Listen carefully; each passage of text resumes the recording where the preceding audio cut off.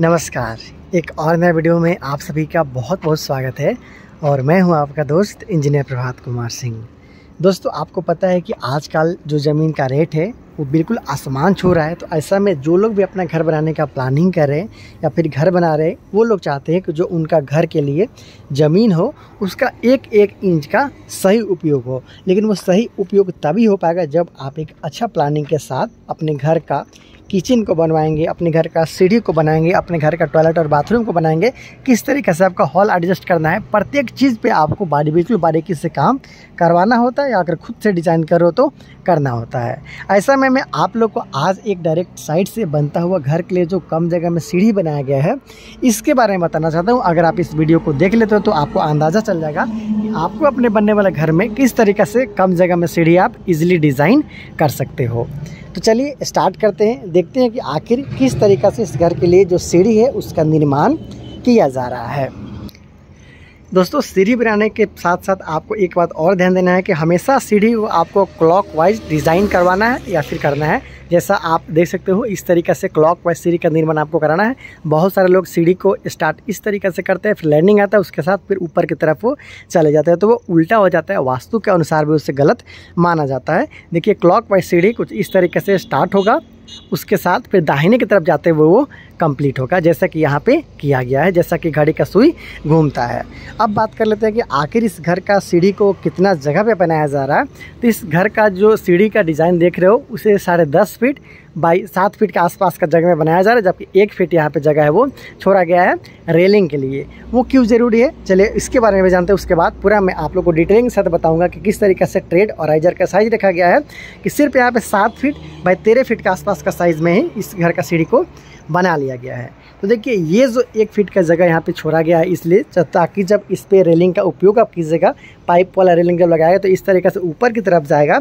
उसके साथ साथ फिर वहाँ पे गोल करने में काफ़ी दिक्कत आता है, इसलिए कुछ इस तरीके से जगह छोड़ा जाता है, ताकि ईजिली वहाँ पर राउंड करते हुए वो ऊपर की तरफ़ चला जाए। और थोड़ा ये जगह मिल जाता है आपको तो नीचे की तरफ़ जो एरिया है, बहुत सारे सीढ़ी में देखिएगा कि नीचे का जो जगह रहता है वो बिल्कुल आपको अंधेरा रहता है, लेकिन ये जगह छोड़ने से जो नीचे का जगह है, उसको आप इजीली इस्तेमाल कर सकते हो। अंधेरा आपको उतना नज़र नहीं आता है, जैसा कि आप यहाँ पे देख पा रहे हो, यहाँ से लाइट आपको मिलते रहता है। चलिए, अब जानते हैं कि आखिर इस घर का सीढ़ी को किस तरीक़े से बनाया जा रहा है। तो इसके लिए आपको स्टेप जानना होगा। देखिए स्टेप का संख्या की बात कर ली जाए तो ये पहला जो स्टेप आप देख रहे हो, ये ज़मीन का लेवल पे आ जाएगा। ये देख सकते हो इस तरीके से। यहाँ से आप स्टार्ट करते हैं। इस सीढ़ी के लिए जो स्टेप है, उसके बारे में। देखिए, एक, दो, तीन, चार, पाँच, छः, सात आठ नौ। नौ स्टेप हो गया।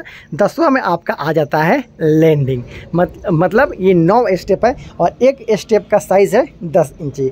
अगर नौ स्टेप का जोड़ लिया जाए तो कितना इंची हो गया? नब्बे इंची हो गया मतलब लगभग साढ़े सात फीट तो साढ़े सात फीट का जो जगह है वो आपको मिल गया इस घर का। सीढ़ी का फ़्लाइट पार्ट के लिए कुछ इस तरीके से। उसके बाद आपको आ जाता है लैंडिंग जो कि कम से कम तीन फीट का होगा। तीन फीट का होगा मतलब साढ़े दस फीट का आपका हो गया। ये आपका इसका लंबाई और उसके साथ साथ फिर ऊपर वाला हिस्सा का बात कर लिया जाए तो देख सकते हो कुछ इस तरीक़ा से यहाँ पे काम है वो किया गया है। अगर यहाँ का स्टेप का बात कर लीजिए तो एक स्टेप यहाँ पे बड़ा हुआ है।